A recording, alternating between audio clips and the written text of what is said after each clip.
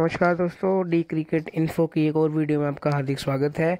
और आज अगर हम बात करें कि जो हमारा तेरह नवंबर को फाइनल खेला जाने वाला है, उसके दो अहम किरदारों की आज हम कंपैरिजन वीडियो लेके आए हैं आपके सामने। पाकिस्तान की तरफ़ से है विकेट कीपर मोहम्मद रिजवार और इंग्लैंड की तरफ़ से है एलेक्स हिल्स आप दोनों की बल्लेबाजी तो अच्छे से जानते होंगे। अभी हाल ही में जो सेमीफाइनल ख़त्म हुए हैं, इन इन दोनों बल्लेबाजों का बोलबाला रहा था। अगर आपने देखा हो न्यूजीलैंड के सामने मोहम्मद रिजवान की अर्धशतकीय पारी ने पाकिस्तान को जीत दिलाई थी और यहाँ पर अगर एलेक्स हिल्स की बारे में बात करें तो पिछले ही दिन उन्होंने 86 रन की पारी खेलते हुए इंडिया के गेंदबाजों को धूल चटाई थी। आपने पीछे देखा ही होगा 86 रन के साथ उन, उनको man of the match award भी दिया गया। तो चलिए आज हम इन इनके बारे में थोड़ा सा जानते हैं और आपको इनकी पर्सनल इन्फॉर्मेशन भी देते हैं। अगर हम सबसे पहले पाकिस्तान की तरफ़ से नेम की बात करें तो मोहम्मद रिजवान आते हैं और वहाँ से इंग्लैंड की तरफ़ से एलेक्स सेल्स आते हैं। अगर हम आगे बढ़ते हैं, इनकी डेट ऑफ़ बर्थ के बारे में बात करते हैं तो मोहम्मद रिजवान एक जून 1992 को पैदा हुए थे और वहीं पर एलेक्स सेल्स थ्री जनवरी 1989 को पैदा हुए थे। तो अब यहाँ पर देख सकते हैं कि एलेक्स सेल्स मोहम्मद रिजवान से बड़े हैं। बर्थ प्लेस की बात करें तो मोहम्मद रिजवान और बर्थ प्लेस की अगर हमने बात करी तो एलेक्स एलेक्सेल हिलिंगडन के रहने वाले हैं। और अगर हम हाइट्स के बारे में बात करें तो एलेक्सेल्स की हाइट आपको पता है कि वो थोड़े से ऊँचे कद के बल्लेबाज हैं। और मोहम्मद रिजवान जहाँ पर थोड़े से शॉर्ट हाइट के बल्लेबाज है 1.7 मीटर उनकी हाइट है।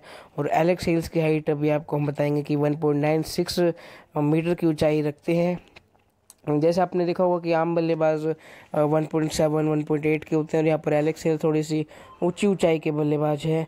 और अगर हम आपको थोड़ा और इनके प्रोफेशन के बारे में बताएँ तो आप सबको पता है कि ये ये दोनों एक क्रिकेटर हैं और अपनी अपनी टीमों के लिए अच्छा क्रिकेट खेलते हैं और दोनों ही ओपनिंग बैट्समैन हैं। अगर हम बैटिंग स्टाइल के बारे में बात करें तो दोनों ही राइटी बैट्समैन हैं और अगर हम आगे इनके बारे में थोड़ा और आपको बताएँ कि इनका रोल क्या रहता है टीम में मोहम्मद रिजवान पाकिस्तान की तरफ़ से विकेट कीपिंग करते हैं और वहीं पर एलेक्सेल इंग्लैंड की तरफ़ से एक ओपनर का रोल निभाते हैं।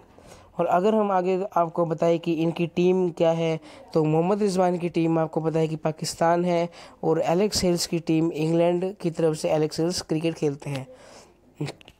और अगर हम जर्सी नंबर के बारे में अगर हम आप, आपको बताएँ कि मोहम्मद रिजवान की जर्सी नंबर क्या है तो मोहम्मद रिजवान की जर्सी नंबर 16 है और वहीं पर एलेक्स हिल्स की जर्सी नंबर 10 है। और दोस्तों, आप ये लोग अच्छी तरह से जानते होंगे कि इंडिया में नंबर 10 की जर्सी हमारे god of cricket Sachin Tendulkar भी पहनते थे और इंग्लैंड की तरफ़ से एलेक्स हिल्स पहनते हैं। दोस्तों, मैं कोई कंपैरिजन नहीं कर रहा हूँ। दोनों का बिल्कुल भी कंपैरिजन नहीं हम कर सकते। तो चलिए दोस्तों आगे हम अगर अगर हम आगे इन, इनके टी ट्वेंटी आई रिकॉर्ड्स के बारे में अगर हम आपको थोड़ा सा बता पाए तो तो दोनों ही बहुत ही एक्सपीरियंस प्लेयर हैं और एलेक्स सेल्स तो काफ़ी साल से क्रिकेट खेल रहे हैं। बीच में ये कई गायब से हो गए थे लेकिन अभी इन्होंने दोबारा वापसी पकड़ी है और T twenty I world cup में आप देख सकते हैं इनकी परफॉर्मेंस तो चलिए दोस्तों थोड़े से आपको बताते हैं कि मोहम्मद रिजवान ने अब तक 74 मैचेस खेले हैं और एलेक्स हिल्स अब तक 79 मैचेस खेल चुके हैं। और अगर हम इनकी रनों के बारे में बात करें तो सबसे पहले आपने देखा कि मैचेस में भी ज़्यादा फ़र्क नहीं है क्योंकि बीच में एलेक्स हिल्स गायब हो गए थे। आपको पता है कहीं पर दिखे ही नहीं थे क्रिकेट खेलते हुए। और, और अगर हम रनों के बारे में बात करें तो मोहम्मद तो मोहम्मद रिजवान के run two thousand seventy three हैं और वहीं पर रनों के मामले में एलेक्स हिल्स बाजी मारते हैं दो हज़ार छः सौ साठ रन है। और अगर हम पचास दोनों की बात करें तो मोहम्मद रिजवान अब तक तेईस पचास लगा चुके हैं।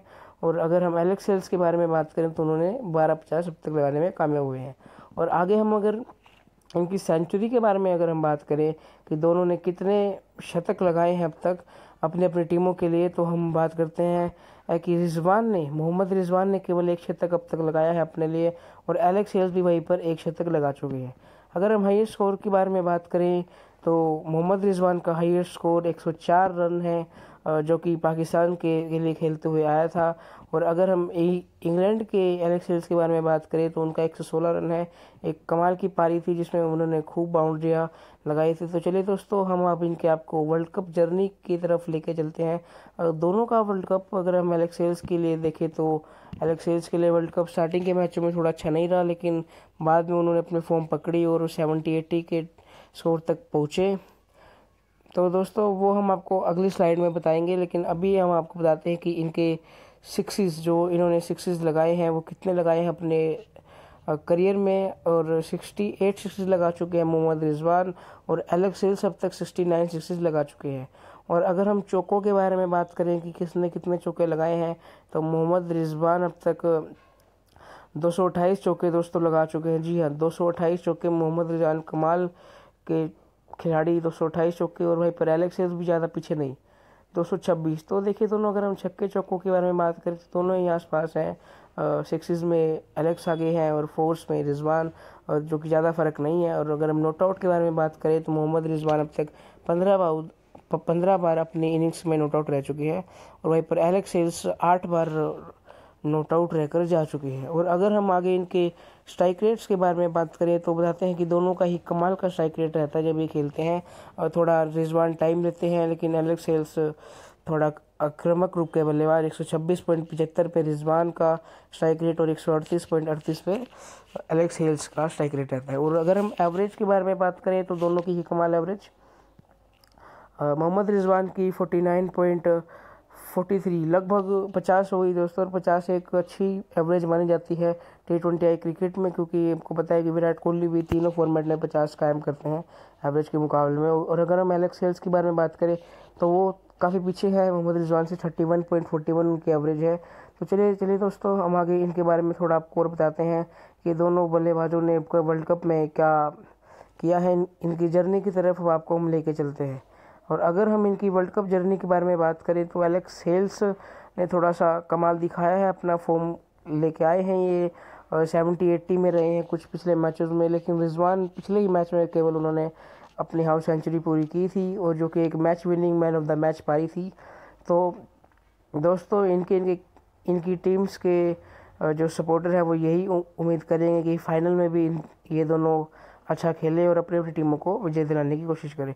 अगर मैचेस की बात करें तो पाकिस्तान ने छः मैचेस खेले थे और इंग्लैंड ने वहीं पर पाँच क्योंकि एक एक मुकाबला इंग्लैंड का धुल चुका था। इसमें सेमीफाइनल भी ऐड है। अगर हम रनों के बारे में बात करें तो मोहम्मद रिजवान 160 रन पर है, है और अब तक जो सबसे ज़्यादा है पाकिस्तान के लिए और एलेक्स हेल 211 रन पे है ये भी सबसे ज़्यादा रन मारे हैं इन्होंने भी। अपनी टीम इंग्लैंड के लिए। और अगर हम पचास के बारे में बात करें तो मोहम्मद रिजवान ने केवल एक पचास लगाई है और वहीं पर एलेक्स हिल्स ने दो पचास अब तक लगा चुके हैं।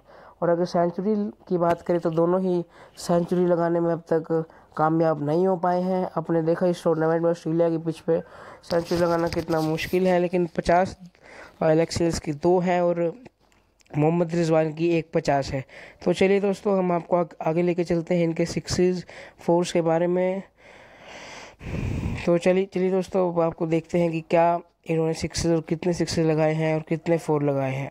अभी देखिए दोस्तों, अगर फाइनल की हम बात करें तो फाइनल मेलबर्न में खेला जाएगा ऑस्ट्रेलिया में और थोड़ी बारिश के संकट बताए गए हैं, लेकिन चिंता की बात नहीं है रिज़र्व डे आईसीसी के द्वारा रखा गया है। लेकिन अगर उस दिन रिज़र्व डे में भी बारिश होती है, उसके बाद का कोई प्रबंध नहीं है। तो शायद दोस्तों, अगर उस दिन भी बारिश हुई तो हमें जॉइंट चैम्पियन मिलेंगे। अगर हम सिक्सिस के बारे में बात करें तो मोहम्मद रिजवान एक छक्का अब तक केवल लगा चुके हैं टूर्नामेंट में और एलेक्स वहीं पर दस छक्के। अगर हम चौकों के बारे में बात करें तो मोहम्मद रिजवान ने चौदह चौके लगाए हैं और वहीं पर एलेक्स हिल्स ने उन्नीस चौके अब तक वो लगा चुके हैं।